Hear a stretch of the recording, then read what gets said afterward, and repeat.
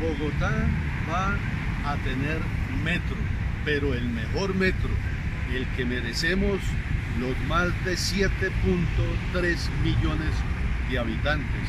Un metro pesado con líneas subterráneas.